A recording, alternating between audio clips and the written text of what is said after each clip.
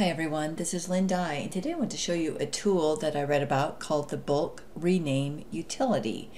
And I found this on an article I was reading over on LinkedIn and by Nick D'Agostino.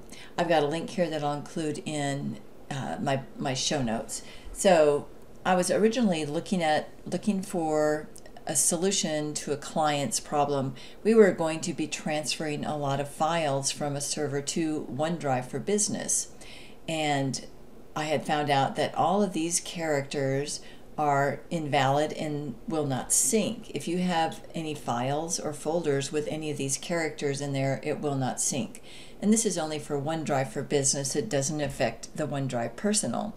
So uh, he was thinking about having somebody go through and, and try to find them all. And then I found this article that you can bulk rename a whole bunch of file, like thousands and thousands of files at the same time.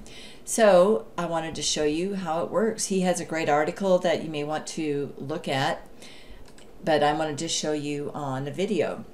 So you come here and you download the tool. It's free, and I've already got it downloaded. So I'm going to, I'm going to use a 64-bit because I've got that kind of computer, so I'm going to pull it up.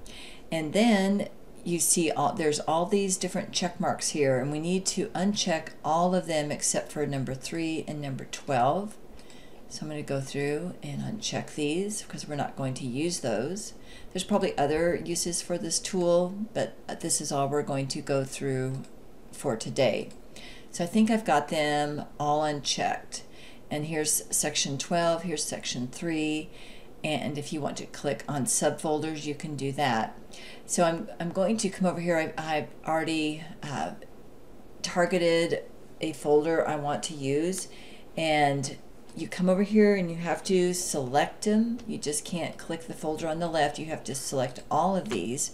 And what I thought I would do is just replace um, the DSC, which is a file naming convention for taking when you take pictures and I'm going to change it to pic. And then you come down here and it says rename and also it says 22 ob objects selected. So I'm going to say to rename it and they say they're just telling you double check because this is your last opportunity. And so I'm going to say okay. And it says 13 items until 13 items required no name change and 9 did. So I'm going to say okay. And that's how you run the tool. It's it's really just that easy. And of course if you want to change it back, you can do that. So I'm just going to reverse what I did.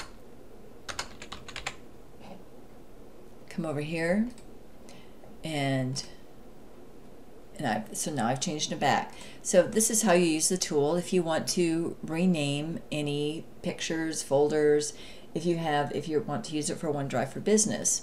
So I hope that was helpful and thanks for stopping by.